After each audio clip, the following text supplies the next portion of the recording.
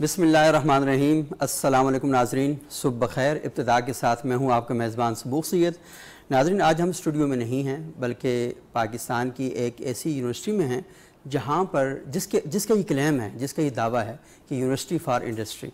और इस यूनिवर्सिटी में आकर जी बड़ा खुश हुआ। उसकी बुनियादी वजह यह है कि अक्सर अवकात हम ये सोचते रहते हैं, ये देखते रहते हैं कि पाकिस्तान में नौजवान बड़ी तादाद में मौजूद हैं, लेकिन पाकिस्तानी नौजवानों का एक अच्छा हिस्सा, एक बड़ा हिस्सा, जिसे हम कहते हैं ब्रेन ड्रेन हो रहा है। यानी हमारी जहानतें अपने मुल्क को छोड़कर पाकिस्तान से बाहर जा रही हैं। वो क्यों जा रही हैं? क्योंकि उन्हें इस मुल्क में मौक़े मैसर नहीं हैं। लेकिन इस यूनिवर्सिटी ने एक बड़ा अच्छा काम किया, एक नया काम किया कि अपनी जहानतों को यहीं उनकी खपत करने का पूरा एक प्रोग्राम बनाया, पूरा एक मनसूबा बनाया। यहाँ पे आज ओपन हाउस हो रहा है और जिसमें जॉब फेयर भी है। जो इंडस्ट्री है पाकिस्तान की, उसके लोग यहाँ पर आए हैं और वो सारे इन नौजवानों के साथ इंटरेक्ट कर रहे हैं और यहाँ पर नौजवानों ने अपने जो प्रोजेक्ट्स हैं, अपने जो मंसूबे हैं, वो भी यहाँ पर लगा रखे हैं। तो आज हम उन मनसूबों को भी देखेंगे, जो जॉब फेयर हो रहा है, उसको भी जाकर देखेंगे, लेकिन उससे पहले इस यूनिवर्सिटी के जो रेक्टर हैं जनरल रिटायर्ड मौज़म एजाज साहब, उनसे हम थोड़ी सी बातचीत करेंगे और उनसे हम जानने की कोशिश करेंगे कि जो बेसिक आइडिया है, वो क्या है। जनरल साहब, कैसे हैं आप? जी थैंक यू वेरी मच ठीक ठाक है। अच्छा यूनिवर्सिटी में आके तो हमारा तो दिल खुश हो गया जी। तो मुझे बताएँ कि 2018 में ये यूनिवर्सिटी कायम हुई और आज हम यहाँ पर आए देखा जॉब फेयर में आ, इस इलाके के जो बच्चे हैं इस यूनिवर्सिटी के जो बच्चे हैं उन्होंने बहुत ही ज़बरदस्त आइडियाज़ पेश किए हैं। तो बेसिक थीम ये कहाँ से आपने हासिल कहाँ से किया ये? जी इसके लिए मैं आपको थोड़ा सा छः सात साल वापस लेके जाना चाहूँगा। जब ये नेशनल यूनिवर्सिटी ऑफ़ टेक्नोलॉजी का आइडिया कंसीव किया गया कि एक यूनिवर्सिटी नहीं बनानी है। तो सोचा यह गया था कि एक मुख्तलिफ़ किस्म की यूनिवर्सिटी बनाई जाए क्योंकि तो पाकिस्तान में वैसे तो ढाई सौ से ऊपर यूनिवर्सिटियाँ इस वक्त मौजूद हैं। तो हम ये चाहते थे कि कैसी यूनिवर्सिटी तख्लीक की जाए जहाँ बच्चों की स्किल्स को उनके हुनर को सिखाया जाए उसको पॉलिश किया जाए ताकि बच्चे किसी के मोहताज ना हों। और आपको मैं ये बताना चाहता हूँ कि हमारी यूनिवर्सिटी का जो मोटो है वो है university for industry university for industry तो इस चीज़ को जहन में रख के यूनिवर्सिटी का तमाम जो करिकुलम है इसका निसाब है ये सेट किया गया था। और हमने कोशिश ये की थी कि दुनिया की जो बेहतरीन यूनिवर्सिटी हैं जिस तरह एमआईटी वगैरह हैं उनके सिलेबस के मुताबिक हम अपने सिलेबस को ढालें। बच्चे को सिर्फ़ थ्योरी ना सिखाएँ इसको साथ प्रैक्टिकल भी सिखाएँ। और हमारी अप्रोच इसके अंदर ये है कि बच्चे जो हैं वो डिग्री लेने के बाद जॉब सीकर ना बने जॉब गिवर बने। अनफॉर्चुनेटली हमारा पाकिस्तान में एक माइंड सेट ये है कि बच्चे भी और बच्चों के माँ बाप भी वो यूनिवर्सिटी एजुकेशन में सिर्फ़ इसलिए जाते हैं कि बच्चे के पास एक यूनिवर्सिटी की डिग्री आ जाए और उसके बाद बच्चा फिर मार्केट में जाए और उसको जॉब मिल जाए। तो हम कोशिश ये कर रहे हैं कि वो एक सेकेंडरी चीज़ हो लेकिन प्राइमरी चीज़ ये है कि बच्चा ऐसी स्किल्स सीख के निकले यहाँ से कि उसको बाहर जाके किसी का मोहताज ना होना पड़े। खुद अपनी इंडस्ट्री लगाए हाँ जी हम बच्चों को ये कहते हैं कि आप जॉब गिवर बने। आप कुछ अपना काम सेट करें आप में वो कॉन्फिडेंस हो अगर डिग्री मिल गई है और नौकरी नहीं मिली तो हमें कोई हैंडीकैप ना फील हो। हम कुछ काम अपने हाथ से कर सकते हो। तो इसलिए हमने अपना निसाब भी और तमाम सरगर्मियाँ इसी तरह अलाइन की हैं कि बच्चे मार्केट में जाके काम करें। सही। अच्छा जनरल साहब हम ये भी देखते हैं कि अमूमन जब पाकिस्तान के निज़ाम तालीम और निसाब तालीम के हवाले से बातचीत की जाती है तो एक बुनियादी एतराज़ ये भी किया जाता है कि हमारे यहाँ यूनिवर्सिटीज़ में जो रिसर्च होती है वो यहीं पैदा होती है। यहीं फलती फूलती है और यहीं दफन हो जाती है। यूनिवर्सिटी की जो दीवारें हैं उनसे बाहर वो मार्केट के साथ जुड़ती ही नहीं उसकी ज़रूरत ही नहीं होती। तो ये एक बड़ा यूनिक आइडिया है कि आपने इसको इंडस्ट्री के साथ लिंक कर दिया इंडस्ट्री के साथ जोड़ दिया। जो बुनियादी मसला है निज़ाम तालीम में आप क्या देखते हैं कि क्यों ये चीज़ें बाहर नहीं जाती? मतलब बाकी आपने अढ़ाई सौ यूनिवर्सिटियों का ज़िक्र किया। जी आपकी बात बड़ी अहम है और आज के दिन के हवाले से ये आपका सवाल बड़ा ज़रूरी है। होता क्या है कि आपने एक टर्मिनोलॉजी सुनी होगी एकेडेमिया इंडस्ट्री लिंकेज जी बिल्कुल। इसके ऊपर पिछले दो तीन साल से पाकिस्तान में बहुत ज़ोर दिया जा रहा है। अच्छा। लेकिन अभी तक मतलूबा नतज हासिल नहीं किए जा सके। उसकी एक वजह है कि थोड़ी सी ये सिर्फ़ लिप सर्विस है हम्म। कि नशस्तन गुफ्तन बर्खास्तन उसके बाद यूनिवर्सिटी की दीवारों में ही वो बात ख़त्म हो जाती है। तो हमारी कोशिश ये है कि और आज का इवेंट जिस तरह आपको पता है कि आज हमारा ओपन हाउस और जॉब फेयर हो रहा है हम इंडस्ट्री से ये रिक्वेस्ट करते हैं कि आप आएँ हमें विज़िट करें। अपना कोई सोल्यूशन प्रॉब्लम अपना हमारे पास लेके आएँ ताकि हम यूनिवर्सिटी में रिसर्च करके उसका सोल्यूशन बनाएँ। जो आपने सवाल पूछा उसकी वजह यह है कि इस वक्त थोड़ा सा आप समझिए ट्रस्ट का या क्रेडिबिलिटी का या अतमाद का फुकदान है दोनों पार्टियों में। पहले मैं इंडस्ट्री की बात करता हूँ। इंडस्ट्री वाले इतने कॉन्फिडेंट नहीं हैं कि यूनिवर्सिटी वाले हमारे प्रैक्टिकल फ़ील्ड लाइफ के प्रॉब्लम्स का सोल्यूशन बना सकते हैं। इसलिए यूनिवर्सिटी वाले क्या करते हैं कि वो भी थोड़ी सी थ्योरेटिकल सी रिसर्च करते हैं। वो प्रैक्टिकल रिसर्च नहीं करते। लेकिन अल्लाह का शुक्र है कि हमने यहाँ पे थोड़ा सा इस ट्रेंड को या इस माइंड सेट को चेंज किया है कि हम वो रिसर्च करें। देखिए बच्चे ने रिसर्च तो करनी है जी और हर फाइनल ईयर स्टूडेंट ने एक प्रोजेक्ट के ऊपर काम करना है। तो हम ये करते हैं कि मार्केट से बातचीत करने के बाद हम ऐसे प्रोजेक्ट्स को आइडेंटिफाई करते हैं जो वाकई मार्केट की ज़रूरत है। क्योंकि यूनिवर्सिटी का ताल्लुक अगर इंडस्ट्री के साथ नहीं है या यूनिवर्सिटी का ताल्लुक सोसाइटी या कम्युनिटी के साथ नहीं है तो उस यूनिवर्सिटी का कोई फ़ायदा नहीं। तो हमारी कोशिश ये है कि इंडस्ट्री आए हमारे पास हमारे से बातचीत करें हम उनके पास जाएँ हम उनसे बातचीत करें और उनसे पूछें कि आपको क्या प्रॉब्लम है और आपको क्या सोल्यूशन चाहिए। अगर हम उसके ऊपर काम कर सकते हैं तो हम काम करते हैं उसके ऊपर और काम करके वो प्रोडक्ट उनको हम ऑफ़र करते हैं कि आप ये चीज़ लाए थे हमारे पास ये हमने आपके लिए बना दी है। यानी मार्केट अपना मसला लेकर आए यूनिवर्सिटी मसले को हल करे उसको पूरी दुनिया में ऐसे ही होता है जो दुनिया की अच्छी यूनिवर्सिटी हैं वो सारे आप समझिए कि यूनिवर्सिटी को हाउस ऑफ़ नॉलेज भी कहते हैं सीट ऑफ़ लर्निंग भी कहते हैं इस तरह यूनिवर्सिटी को हम ये भी कहते हैं कि आपका एक बड़ा करीबी तल्लुक है अपनी कम्युनिटी के साथ अपनी सोसाइटी के साथ अपनी इंडस्ट्री के साथ। अगर यूनिवर्सिटी ये काम नहीं कर रही सिर्फ़ डिग्रियाँ दे रही है उस यूनिवर्सिटी का कोई फ़ायदा और इसी वजह से एक मज़ाक भी बना हुआ है लोग कहते हैं कि जो इंजीनियर यहाँ से फारग होता है ना यूनिवर्सिटी से तो बाहर जब जाता है तो एक मामूली दर्जे का आदमी उससे कहते हैं अपनी डिग्री साइड पर रखो और ये मेरे वाला चोला पहनो ना तो तुम्हें काम सिखाता हूँ आपने बिल्कुल सही कहा मैं आपको इसमें भी थोड़ी सी वजाहत कर देता हूँ कि देखें डिग्री लेना एक और चीज़ है। लेकिन स्किल्स या हुनर को सीखना एक और चीज़ है। और इसमें एक और एलिमेंट भी आ जाता है उसे हम कहते हैं सॉफ्ट स्किल्स कि बच्चे ने डिग्री तो ले ली थोड़ी सी उसने इंजीनियरिंग या आईटी का काम थ्योरेटिकली सीख लिया थोड़ा सा प्रैक्टिकल भी कर लिया।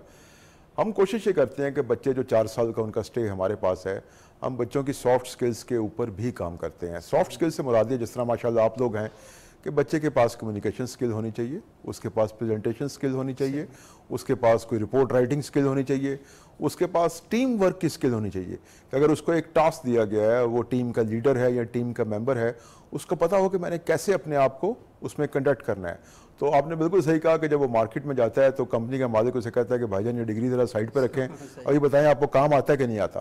तो हम चाहते हैं कि बच्चे उस स्टेज पर पहुँचें तो वो कॉन्फिडेंट हो गए कहें कि आप जो भी काम देंगे हम काम करने को तैयार सही। अच्छा बहुत शुक्रिया जनरल साहब आप इतनी दिलचस्प बातें कर रहे हैं और मेरा जी चाहता है कि हम पूरा प्रोग्राम इस पर लग से एक करें। लेकिन हमने जाकर देखना है जो आपने यहाँ पर बच्चों को तैयार किया है जिस तरीके से उन्होंने काम किया है तो क्योंकि आज आप बता रहे हैं कि यहाँ पर पूरा एक जॉब फेयर है और बच्चे अपनी सलाहितों का इजहार भी कर रहे हैं और साथ इंडस्ट्री से लोग आए हैं। जी माशाल्लाह जो यहाँ से लेके जा रहे हैं कि भाई अब ये बच्चे आपके नहीं रहे। आपने उनको सिखा दिया है। इन बच्चों को अब हम लेकर जा रहे हैं मार्केट में जाकर उनको कहीं ना कहीं उनकी इंडक्शन होगी। तो बहुत ही ज़बरदस्त है। और एक चीज़ मैं आपको बताना चाहूँगा कि इसी सिलसिले में हमारी यूनिवर्सिटी में दो पैरेलल प्रोग्राम चलते हैं। एक तो ये डिग्री प्रोग्राम चलता है उसके साथ हमारा एक स्किल्स का स्कूल है अच्छा। जिसमें बच्चों को हुनर सिखाया जाता है। इसमें शॉर्ट ड्यूरेशन कोर्सेज होते हैं दो से चार छः महीने तक के। अच्छा। उसमें बच्चों को मॉडर्न स्किल्स भी सिखाई जाती हैं। हाईटेक जिस तरह कंप्यूटर ग्राफिक्स हैं डिज़ाइंस हैं इंटरनेट ऑफ़ थिंग्स हैं प्रोजेक्ट मैनेजमेंट है। इसके अलावा ख़वान के लिए हमने industrial stitching fashion designing embroidery वगैरह वो कोर्सेज भी हम रन करते हैं। और वो बच्चे वो स्किल्स दे के जॉब मार्केट में उनकी जो खपत है आप समझिए वो रेशो बहुत बेहतर है। और रिसेंटली हमने ये काम शुरू किया है कि अलहमदिल्ला न्यूटेक पाकिस्तान का वाद इदारा है।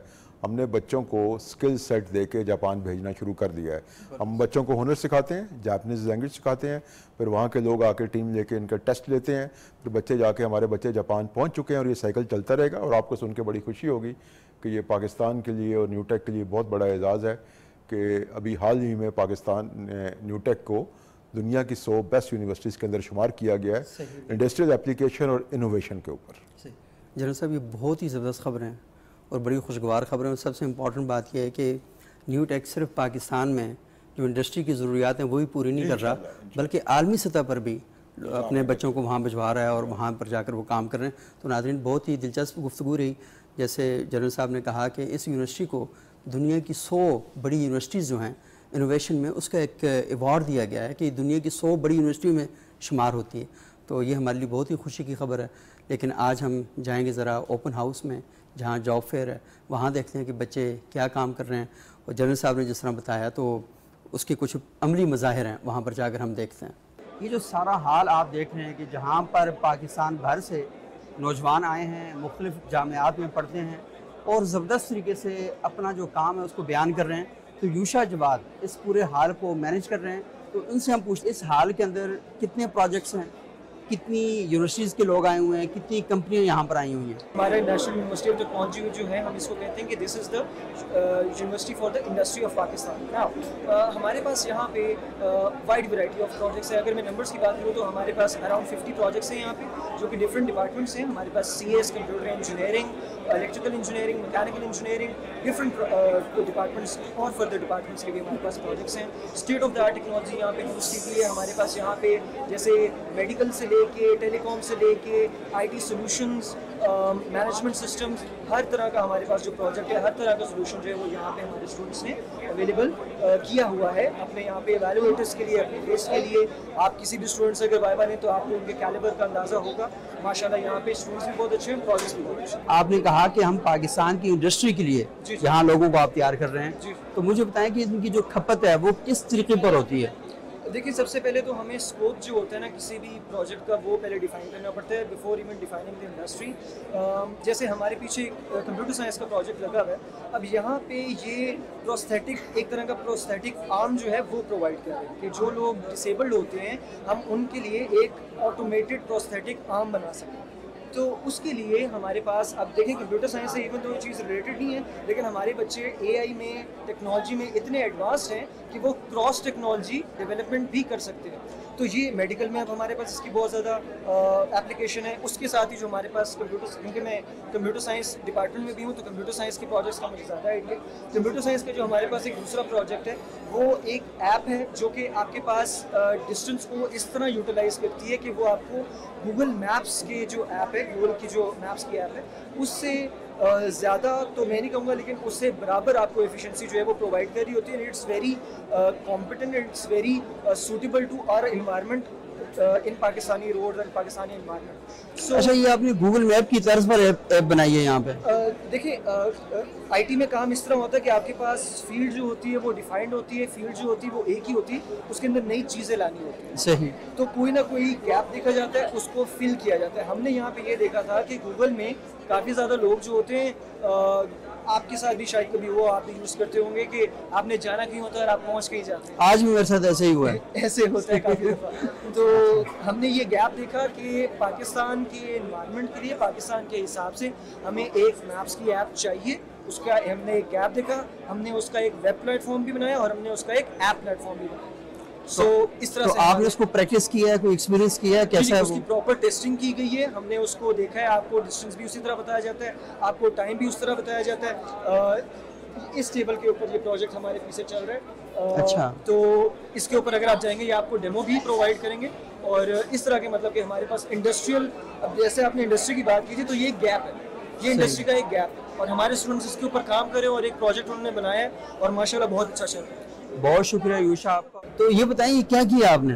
हमने एक व्हीकल ट्रैकिंग की एप्लीकेशन बनाई है जिसमें हम गूगल मैप की एपीआई यूज़ कर रहे हैं। हम्म। गूगल मैप जैसे आपको पता है कि आजकल जो हमारे पास स्मार्टफ़ोन हर किसी के पास है तो सबके पास गूगल होता है।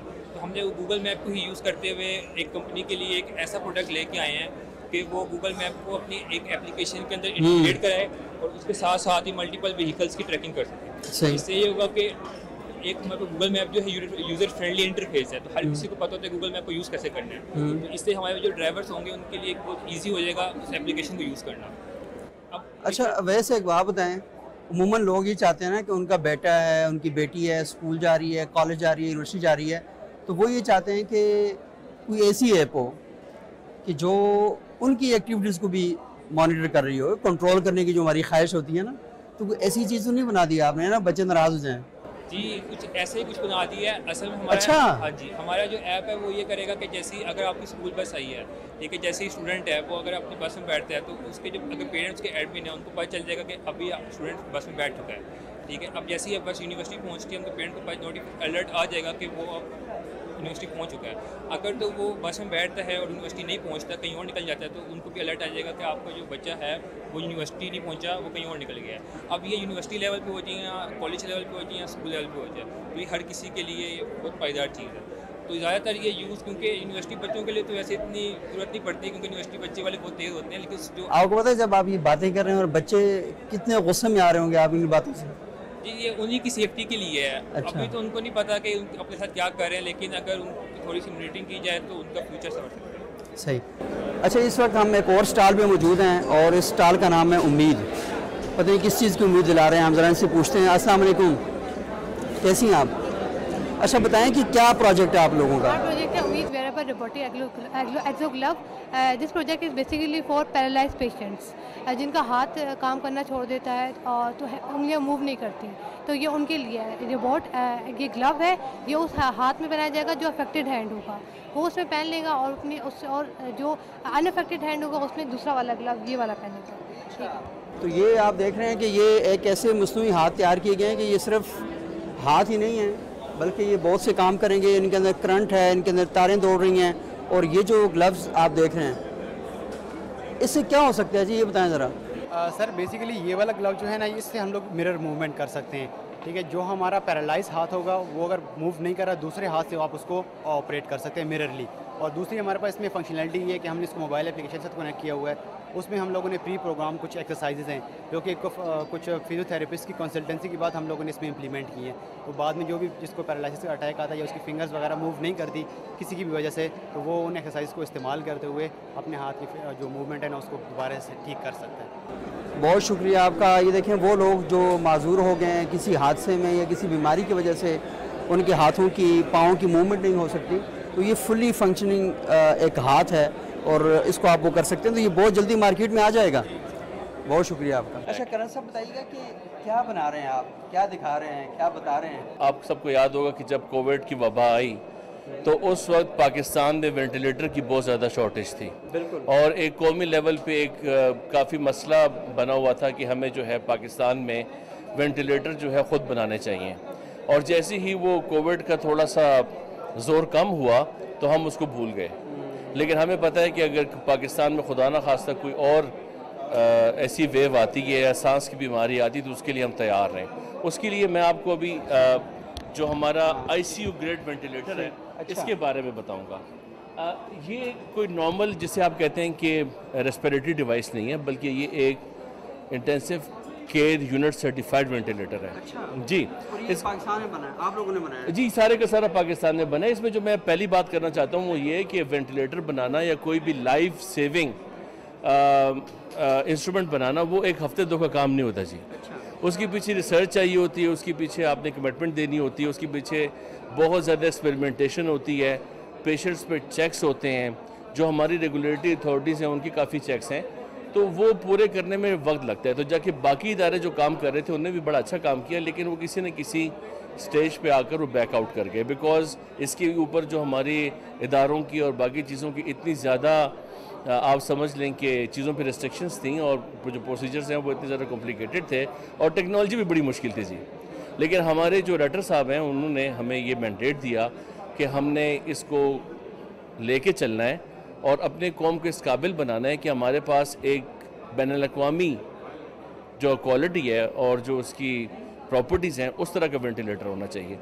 तो ये जो आपको नज़र आ रहा है पिछले साढ़े चार पाँच साल की मेहनत है। ये एक आईसीयू ग्रेड वेंटिलेटर है। इस पर ऑपरेशन हो चुके हैं और अभी ये जिना हॉस्पिटल लाहौर में पेशेंट्स पे ट्रायल्स हो रहे हैं इसके। इसकी जो पाकिस्तान इंजीनियरिंग काउंसिल की टेस्टिंग है वो पास हो चुकी है। ड्राइव से इसकी अप्रूवल जो है इनिशियल वो हो चुकी है। नेशनल बायो एथिक्स कमेटी से ये पास है। और अभी सिर्फ़ हम पेशेंट्स का वेट कर रहे हैं कि जैसे ही पेशेंट्स पूरे होंगे तो हमें इसका कमर्शियल लाइसेंस मिल जाएगा। अच्छा। फिर पाकिस्तान की जो इंडस्ट्री है उसको हम इनेबल करेंगे और ये पाकिस्तान में मैन्युफैक्चर होगा।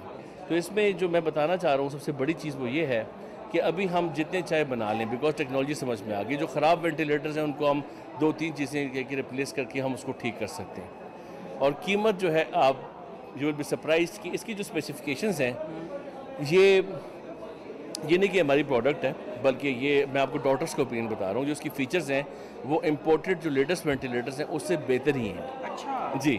इसीलिए इस पर कोई कॉम्प्रोमाइज़ नहीं किया। टाइम हमने लगाया टेक्नोलॉजी को समझने में टाइम लगा इसको बनाने में टाइम लगा लेकिन अलहमदिल्ला अभी हमारे पास जो एक टेक्निकल एक्यूमेंट होती है जो एक चीज़ को बनाने के लिए जो आपको नॉलेज चाहिए होता है हाँ वो आप आ वो वो आ गया। तो अभी अल्हम्दुलिल्लाह जब भी पाकिस्तान को कभी ज़रूरत पड़े तो हम इस काबिल हैं कि हम किसी का इंतज़ार नहीं करेंगे। हंगामी तौर पर बनाए जा सकते हंगामी तौर पर बनाए इसके छोटे वर्जन्स भी हैं सारा हमारे कंट्रोल में है। अगर आपने प्रोडक्शन रेट ज़्यादा रखना है तो इसमें कुछ फीचर हम कम कर देते हैं कुछ चीज़ें निकल जाती हैं। और इसी अच्छा ये बताएँ ना जी। मिसाल के तौर पर अगर मैं जर्मनी से मंगवाता हूँ जी जी। वो कितने का बनता है और जो आप बना रहे हैं कितने का बनता है? जी जो हमारी इकॉनमी के फ़िलहाल हालात हैं जो कि इन ताला इम्प्रूव होंगे। और जो डॉलर का रेट जा रहा है जो हमारे पास एल के इशू है बाकी तमाम चीज़ें तो हमारे पास कोई चॉइस नहीं है। जो हमारे पास जर्मनी से वेंटिलेटर्स आते हैं ज़्यादातर सेकेंड हैंड आते हैं। लेकिन उनकी जो कीमत है वो भी सत्तर अस्सी लाख से कम नहीं है। नए की कीमत करोड़ से ऊपर है। जबकि ये आपको जो है आ, इस स्टेज में दो मिलियन के अंदर पड़ जाता है। अच्छा। जी जी जी। यानी उनसे अच्छा है नया है जी। और कीमत में कम है। जी और दूसरी बात है कि हमने इसको ये समझ के कोई हमने रायत नहीं बरती कि हमारा प्रोडक्ट है बिकॉज़ इसने इंसानी जानों को बचाना है। नाजरीन आपने देखा कि कितने ज़बरदस्त किस्म के जो काम हैं वो यहाँ पर हो रहे हैं। नई जो टेक्नोलॉजीज़ हैं उनको उससे ये यूनिवर्सिटी आरास्ता और पैरास्ता है। और सबसे अहम बात जो है कि अमूमन जो हमें ये गिला और शिकवा रहता है और हम इस खौफ का शिकार रहते हैं कि पाकिस्तान से ब्रांड ड्रेन हो रहा है। जो हमारी जहानत है, वो दीगर मुल्कों में मुंतकिल हो रही है और वहाँ जाकर वो बड़ा बेस्ट परफॉर्म कर रही है। और पाकिस्तान में उसको मौके नहीं मिलते। पाकिस्तान में वो यूनिवर्सिटियाँ मार्ज वजूद में आ चुकी हैं कि जो उन्हें इस ज़मीन पर वो मौक़े फ्राहम कर रही हैं और बहुत शानदार तरीके से वो काम कर रहे हैं। और ये इतनी मज़े की ख़बरें हैं, इतनी दिलचस्प ख़बरें हैं कि हमें इस पर बहुत ज़्यादा खुश होना चाहिए। दुख इस बात का है कि हम बहुत ज़्यादा टाइम फजूल किस्म के लायानी गुफ्तु को देते हैं। अगर हम अपनी यूनिवर्सिटीज़ के अंदर मीडिया के लोग आएँ और बताएँ कि पाकिस्तानी नौजवान और पाकिस्तानी बच्चे किन किन शोबों में अपनी बेहतरीन महारतों का मुजाहरा कर रहे हैं तो पाकिस्तानी कौम भी खुश होगी और बहुत सी जो टेंशन है और उसकी जो गर्दाब है वो कम होगी। एक छोटा सा वक्फा लेते हैं, आपने कहीं जाना नहीं है, क्योंकि बहुत से प्रोजेक्ट्स और भी हैं और वो बहुत ही इंटरेस्टिंग हैं, बहुत ही दिलचस्प हैं। हम वापस आएँगे और आपको उनसे भी बात करवाएँगे।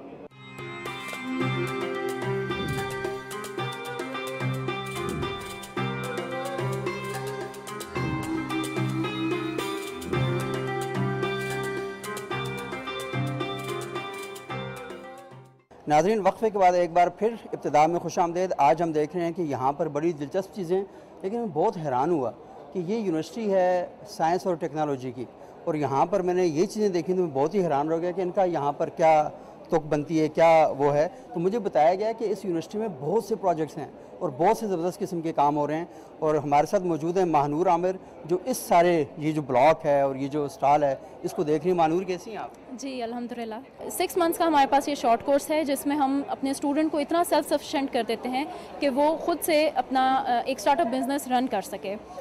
उसके बाद में अपनी फैमिली को सपोर्ट कर सके और अपना जो भी उसका इनकम है, वो खुद से जनरेट करे और पूरी अपनी एक सोसाइटी में अपना एक नाम बना सके। अच्छा मानूर ये बताएँ कि ये जो कोर्सेज हैं शॉर्ट कोर्सेज ये कितने ड्यूरेशन कितने दौरानिए के होते हैं? जी। हमारे पास डिफरेंट ड्यूरेशंस के सेवरल कोर्सेज चलते रहते हैं, जिसमें फ़ैशन डिज़ाइनिंग का जो कोर्स है हमारे पास, वो सिक्स मंथ्स का शॉर्ट कोर्स होता है।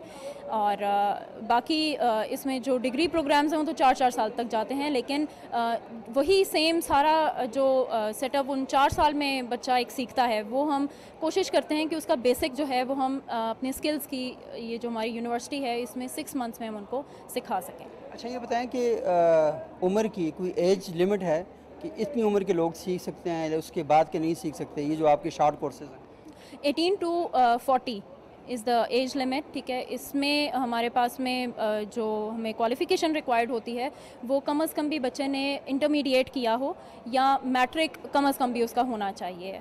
इंटरमीडिएट हमारी ज़्यादा प्रेफरेंस होती है ताकि बच्चा थोड़ा सा uh, मतलब सोचने के काबिल हो जाए। मैट्रिक का बच्चा इतना ज़्यादा अभी ग्रूम नहीं हुआ हुआ होता है कि हम उसको सेल्फ सफिशेंट के ऊपर में लेके जा अच्छा सकें। थोड़ा सा मैं आपसे मजीद बातें भी करूँगा लेकिन ये बताएँ कि ये सारी प्रोडक्ट आपकी हैं यहाँ की हैं? जी बिल्कुल ये हमारे ये थोड़ा सा दिखाएँ जी ये ये देख प्रोडक्ट सारी जो हैं। ये हमारे स्टूडेंट्स के अपने प्रोजेक्ट्स हैं जिसमें अ, हमारा जो यहाँ पर फोकस है मेन वो होम डेकोर और गारमेंट इंडस्ट्री के ऊपर में है। गारमेंट्स तो आपने देख लिए हैं हमारे माशाल्लाह। होम डेकोर में हम अ, टेबल रनर्स होते हैं, कुशन्स होते हैं, सोफ़ा सोफ़ा कवर्स होते हैं तो ये कुछ सैम्पल्स हमारे पास में यहाँ पर मौजूद हैं जो हमारे स्टूडेंट्स की अपनी मेहनत से और उन्होंने अपनी जो जो भी उन्होंने यहाँ पर सीखा है, वो मैक्सिमम हमने यहाँ पर शो करने की कोशिश की है। इस पर एम्ब्रॉयडरी जो हुई है, ये भी हम यहाँ पर बच्चों को सिखाते हैं। और इसके अलावा हम यहाँ पर इन्हीं सिक्स मंथ्स के अंदर में इनको मार्केटिंग का कोर्स भी करवाते हैं, जिससे सिर्फ़ बच्चा प्रोडक्ट तो वो बना लेता है ठीक है? लेकिन उसको बेचने वाली टेक्निक्स नहीं आ रही होती। तो जब वो मार्केटिंग सीख लेता है तो वो बेच भी सकता है अपने प्रोडक्ट्स को साथ साथ हाँ सिर्फ़ प्रोडक्शन इम्पोर्टेंट नहीं होती जी, मार्केट करना बिल्कुल। उसके लिए प्लान बनाना बिल्कुल ऐसे ही तो- अच्छा मुझे मानूर ये बताएँ आप थोड़ा सा सिर्फ़ आए ना। ये बताएँ कि ये जो है इसको मैं हाथ लगा सकता हूँ? अच्छा ये धागे से बना हुआ है। तो ये अच्छा। ये एम्ब्रॉयडरी है हमारे पास में यहाँ पर एम्ब्रॉयडरी की ऑटोमेटिक और मैनुअल दोनों मशीनें मौजूद हैं। इन दोनों पर हम बच्चों को ट्रेन करते हैं और ये एम्ब्रॉयडरी करवाते हैं यहाँ पर। इसके लिए पहले हमारा कितना टाइम लगा आपको बनाने में? इसमें टाइम हार्डली एक दिन हमारा लग जाता है। मशीन की कैपेसिटी हमारे पास में इतनी है। बाकी जो इंडस्ट्री में मशीन्स वगैरह हमारे पास सिंगल हेड एम्ब्रॉयडरी की मशीन मौजूद है, जो इंडस्ट्री में मशीन्स यूज़ हो रही हैं, वो 26 हेड हैं। है सेम यही मशीन है। सारी इसमें जो टेक्निकलिटीज़ हैं, वो यही वाली हैं। लेकिन सिर्फ़ उसकी, क्योंकि प्रोडक्शन लाइन ज़्यादा है तो इस वजह से उन्होंने अपने हेड्स जो हैं, वो ज़्यादा रखे हैं। और ये नाज़रीन, देखें कि ये कुरान की एक आयत लिखी है कि अल्लाह इंसान इल्ला मासा। कि इंसान के लिए वही कुछ है जिसकी वो मेहनत करता है। तो अगर आप मेहनत करेंगे, कोशिश करेंगे तो अल्लाह ताला का आपसे वादा है कि वो आपको मिल के रहेगा। लेकिन अगर आप मेहनत और कोशिश नहीं करेंगे, हाथ पे हाथ धरे बैठे रहेंगे और ये कहेंगे कि पूरी दुनिया आके आपकी मदद करेगी तो आपकी मदद किसी ने नहीं करनी, आपने खुद ही करना है। अल्लाह ताला कभी भी किसी कौम की हालत को नहीं बदलता। उसका कानून है, उसका फार्मूला है। वो ये नहीं देखता कि ये मुसलमान है या गैर मुस्लिम है। वो ये देखता है कि जो मेहनती है, उसको मिलता है। तो आप मेहनत करेंगे तो अल्लाह ताला आपको देगा, और अगर आप मेहनत नहीं करेंगे तो भले आप कितने ही अच्छे ख्यालात के हामिल क्यों ना हों। आपके हमारे अच्छे नहीं होंगे तो आपको मिलेगा कुछ नहीं। तो ये जो आयत लिखी है और बहुत खूबसूरत तरीके से लिखी गई है, इसके अंदर भी जो अमल है वो मौजूद है, और इस आयत का सबक भी हमारे सामने मौजूद है। तो अगले स्टाल पे जाते हैं, वहाँ देखते हैं कि वहाँ पर नौजवानों ने क्या क्या काम किया इस वक्त हम एक और स्टार पर मौजूद हैं, और यहाँ पर भी बड़ा ज़बरदस्त किस्म का काम हो रहा है। किसी भी मुल्क की तरक्की के पीछे उसकी इंडस्ट्री का, का अच्छे अंदाज में और प्रॉफिटेबल होना बहुत ज़रूरी है।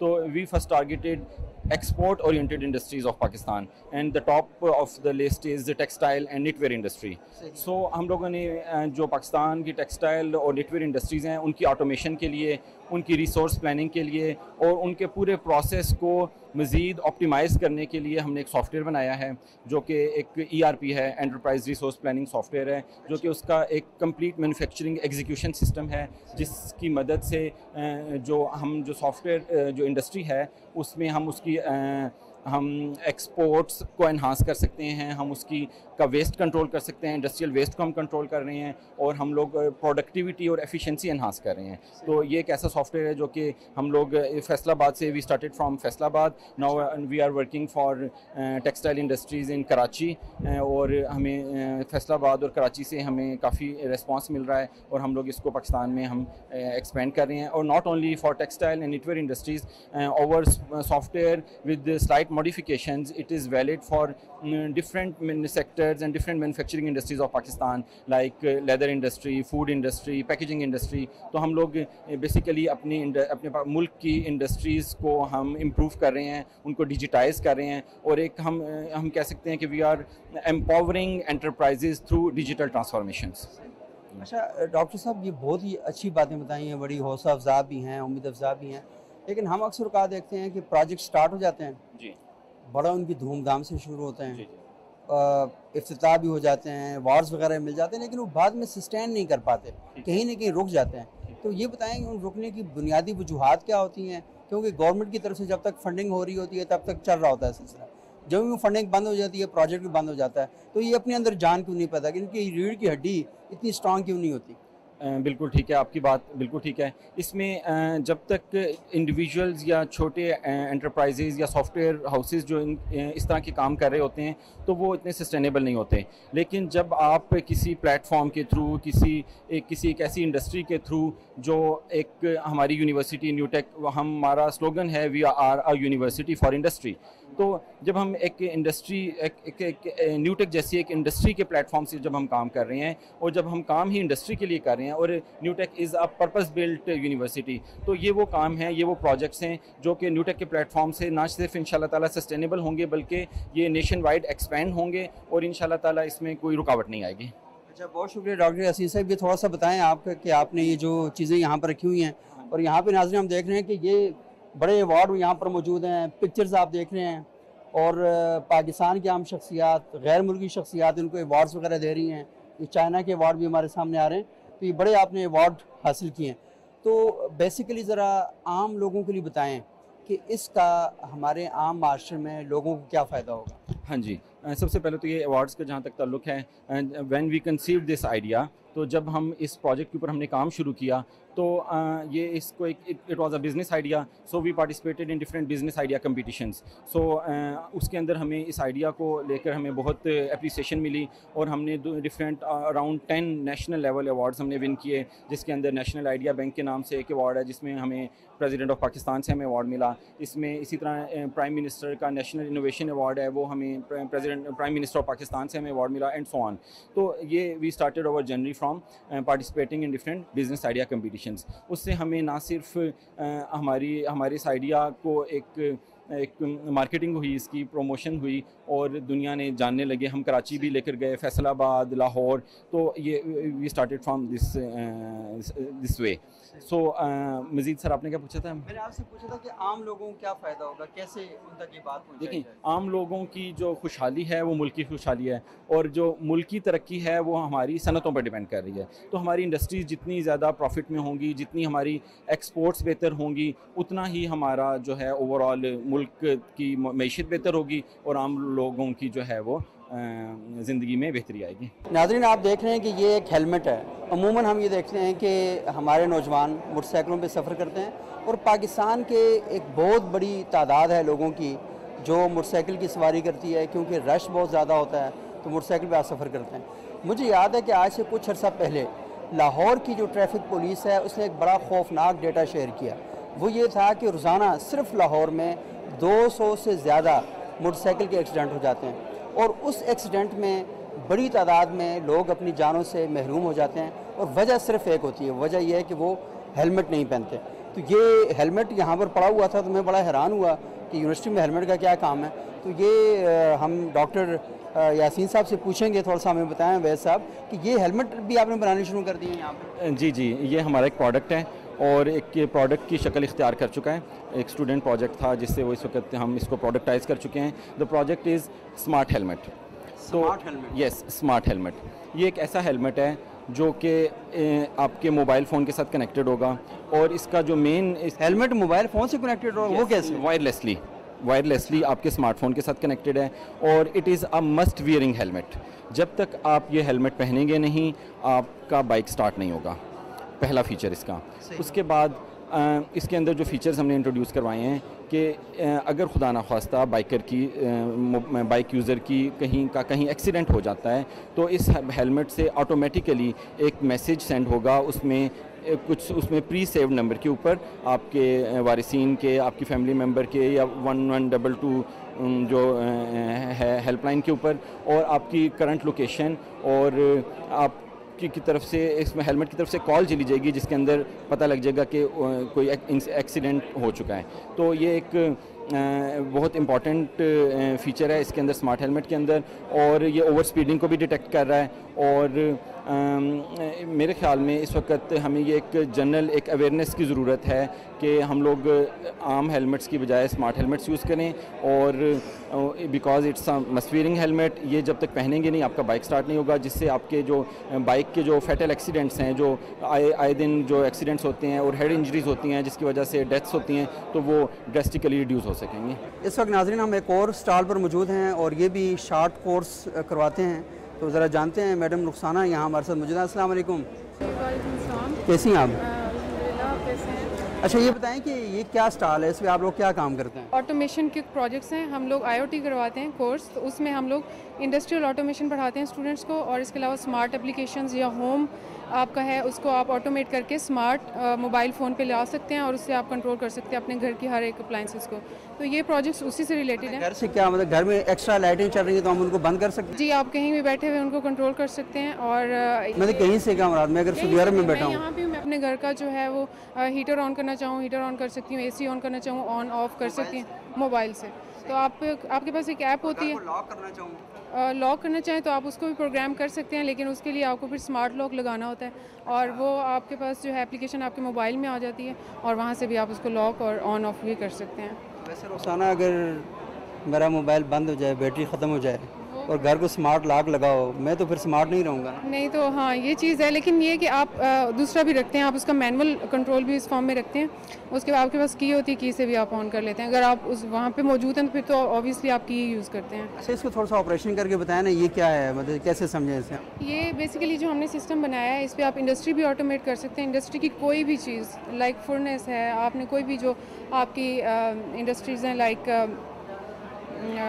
जिस तरह हम बेकरी की हमारी आइटम्स हैं उसमें बहुत ज़्यादा प्रोडक्शन हो रही होती है तो उसमें हमने फुरनेस चलानी होती है या आप ओवन चलाते हैं जिसमें बहुत सारी चीज़ें आप बना रहे होते हैं उनकी जो ऑटोमेशन है ना वो इस तरह के सिस्टम पे होती है। अच्छा। जी उस यहाँ पे हमने इनके इनपुट्स और आउटपुट्स लगाए हुए हैं अब आपकी जो फुरनेस होगी उसका आप बस स्विच इधर लगा देंगे और कंट्रोल आपके पास यहाँ पे है। आप अपने रूम में बैठे हों घर पे बैठे हों आप अपने कंट्रोल रूम में कहीं भी बैठे हों उससे आप अपने उसका टेम्परेचर एडजस्ट कर सकते हैं। आपने अपनी मैन पावर को बोल देना है कि इतना उसको इनपुट दे दें।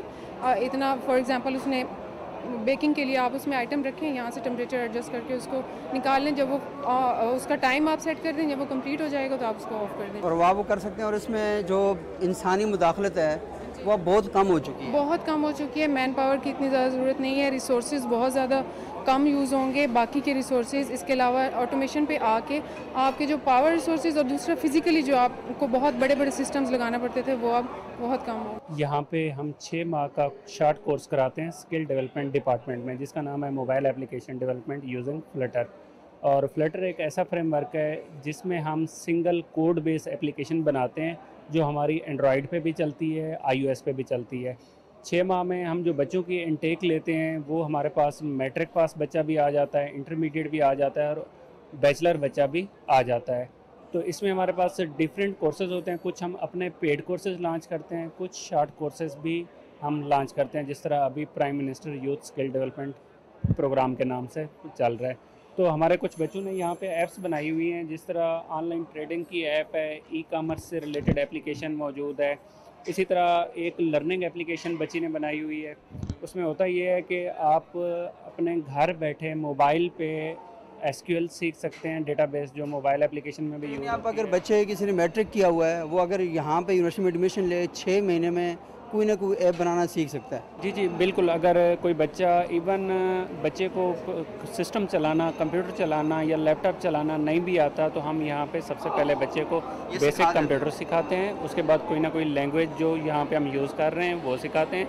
फिर उसके बाद मोबाइल एप्लीकेशन सिखाते हैं। तो छः माह बाद बच्चा इस काबिल हो जाता है कि वो फ्री लांसिंग के ज़रिए यानी उसके बाद अगर उसके दिमाग में कोई और ऐप बनाने का आइडिया है तो वो बना लेगा। बिल्कुल वो उसके पास अपना कोई आइडिया है तो वो अपनी ऐप बना के वो भी लॉन्च कर सकता है। उसके अलावा हम साथ में फ्री लांसिंग से रिलेटेड भी सिखाते हैं और यहाँ पे जॉब एक्सपो वगैरह भी करवाते हैं। तो जॉब एक्सपो में होता ये है कि मोस्टली हमारी 99 परसेंट स्टूडेंट्स को जॉब एक्सपो से ही जॉब मिल जाती है। अच्छा ज़बरदस्त। मलाइका आप बताएँ आपने क्या बनाया? है मैंने ऐप बनाई है जो कि ऑनलाइन ट्रेडिंग ऐप है। इसके ज़रिए से हम ऑनलाइन करेंसी कन्वर्ट कर सकते हैं और इससे प्रॉफिट हासिल कर सकते हैं।